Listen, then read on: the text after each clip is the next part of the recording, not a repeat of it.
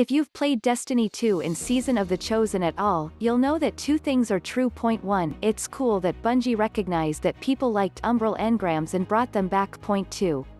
The current focusing system for them is bad. And it turns out, it's even worse than I thought, once you look at the actual numbers for the higher tiers. Full, 100% credit for this discovery goes to Ehroar, whom I learned about it from in a video last week, and I am just passing along the knowledge before you waste any more of those precious hammer charges.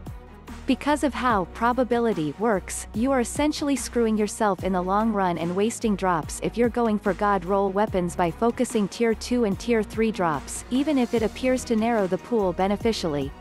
Here's how it works, Tier 1 costs 1 hammer charge for one of 6 weapons, so you have a 1 in 6 chance of getting the one you want for every 6 charges you spend.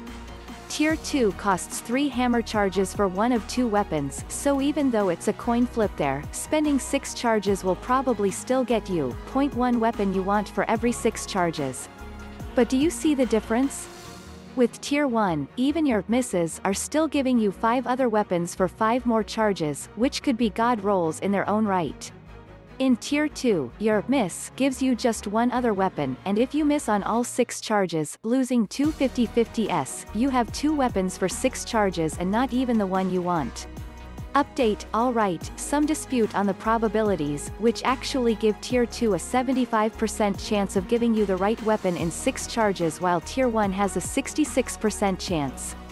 So it's a question of if you want to trade that small bonus chance for 4 bonus weapons. Tier 3 escalates things further because it costs 5 hammer charges for another 50-50 shot, the only benefit being that if you win that coin toss, the weapon will have 2 perks in the final slot but if you miss in the first perk slot, that doesn't matter. In short, you're paying 10 hammer charges for a very similar situation to the already bad tier 2 and 50 50ths, and ending up with 2 weapons total for 10 charges which could get you 10 weapons in tier 1.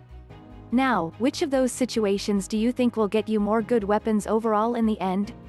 I have been doing this all wrong until I watched Ehroar's video, if you're like me, you were probably doing something like saving for tier 3s, using those 3 per account per week, then saving for tier 2s, but getting more umbrals than you could even spend in the process.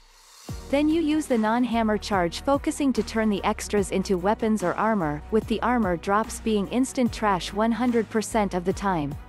The simplest concept here is the right one. Get a hammer charge, focus a battlegrounds weapon. The end.